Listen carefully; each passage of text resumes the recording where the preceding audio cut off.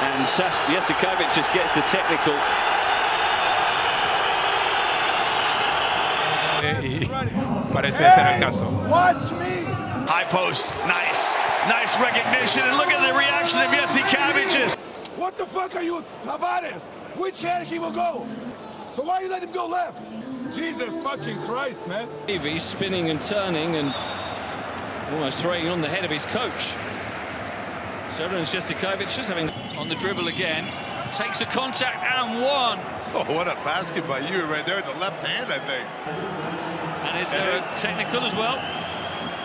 And Jasikevicius just less than impressed. Let's take a couple days off. We deserve some fucking celebration. Let's go.